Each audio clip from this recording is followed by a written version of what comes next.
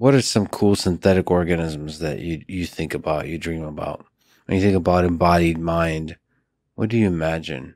What do you hope to build? Yeah, on a practical level, what I really hope to do is to gain enough of an understanding of the embodied intelligence of organs and tissues such that we can achieve a radically different regenerative medicine so that we can say basically and i, I think about it as um, uh, you know in, in, terms of like okay can you what's the what's the uh, uh, what's the goal uh, kind of uh, end end end game for this whole thing? To, to, to, me the end game is something that you would call an anatomical compiler. So the idea is you would sit down in front of the computer and you would draw the the body or the organ that you wanted not not molecular details but like here this is what i want. I want a six-legged uh, you know frog with a propeller on top or i want i want a heart that looks like this or i want a leg that looks like this. Mm-hmm. and what it would do if we knew what we were doing is put out uh, it, it could convert that anatomical description into a set of stimuli that would have to be given to cells to convince them to build exactly that thing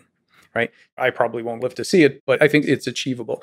And i think what that if if we can have that then that is basically the solution to all of medicine except for infectious disease. So, birth defects, right? Traumatic injury, cancer, aging, degenerative disease. If we knew how to tell cells what to build, all of those things go away. So, those things go away, and the um, uh, positive uh, feedback spiral of economic costs, where all of the advances are increasingly more heroic and expensive interventions of a sinking ship when you're like 90 and and and, and so on right? All of that goes away because basically instead of trying to fix you up as you as you degrade you you um, you progressively regenerate you know you, you apply the regenerative medicine early before things degrade. So i think that that'll have massive economic impacts over what we're trying to do now which is not at all you know sustainable and uh, and that that's what i hope i hope that i hope that we get so so to me yes the Xenobots will be doing useful things, uh, cleaning up the environment, cleaning out, you know, your or you know your joints and all that kind of stuff. But more important than that, I think we can use these uh, synthetic systems to try to understand to, to to to develop a science of detecting and manipulating the goals of collective intelligences of cells specifically for regenerative medicine and then sort of beyond that if we you know sort of think further beyond that what i hope is that kind of like what you said, all of this drives a reconsideration of how we formulate um, ethical norms. Because this old school, so so so in the olden days, what you could do is if you, you were confronted with something new, you, so you could so you could tap on it, right? And if you heard a metallic clanging sound, you'd said, ah, fine, right? So you could conclude it was made in a factory. I can take yeah. it apart. I can do whatever, right? If you did that and you got you know, sort of a squishy uh, kind of warm uh, sensation, you'd say, ah, I need to be you know more or less nice to it mm-hmm. and whatever. That's not going to be feasible. It was never really feasible, but it was good enough because we didn't have any. Uh, we we didn't know any better. That needs to go, and I think that uh, by by breaking down those artificial barriers, someday we can try to build a uh, a system of, of, of ethical norms that does not rely on these completely contingent facts of, of, of our earthly history, but on something much much deeper that you know really um, takes takes agency and and and uh, the capacity to suffer and all that takes that seriously. The capacity to suffer and, and the deep questions I would ask of a system is: Can I eat it and can I have sex with it? Um, which is the the two fundamental tests of again the human condition.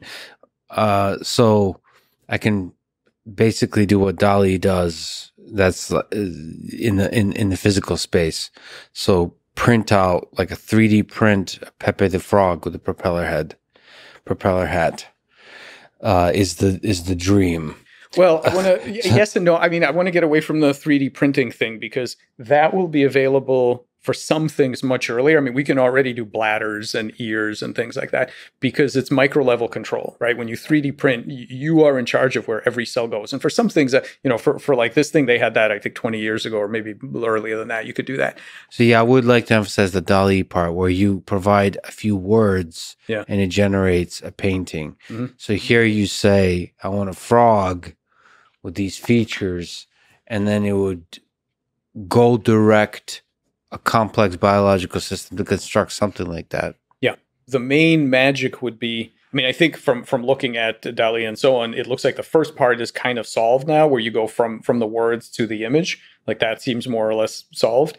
the next step is really hard. This is what keeps uh, things like CRISPR and, and genomic editing and so on. It's it, it, this is what limits all the um, uh, uh, uh, impacts for for regenerative medicine, because going back to okay, this is the knee joint that I want, or this is the eye that I want now what genes do I edit to make that happen, right? Going back in that direction is really hard. So instead of that, it's going to be okay, I understand how to motivate cells to build particular structures. Can I rewrite the memory of what they think they're supposed to be building such that then I can, you know, take my hands off the wheel and let them let them do their thing.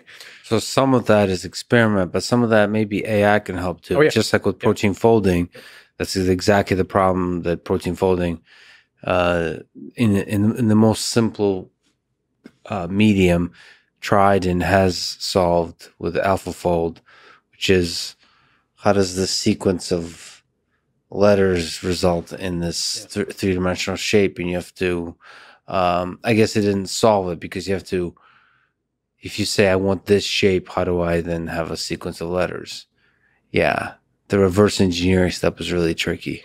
It is. I, th- I think. I think where where and, and we're doing some of this now is is to uh, use AI to try and uh, build actionable models of the intelligence of the cellular collectives. So try to help us and help us gain models that that that um, and and we we've had some success in this. So we we did something like this for um uh for you know, for repairing uh, uh, birth defects of the brain in frog. We've done some of this for um, normalizing melanoma, uh, where you can really start to use AI to make models of how would I impact this thing if I wanted to, given all the complexities, right? And and and given all the uh, the the the controls that that it, that it knows how to do.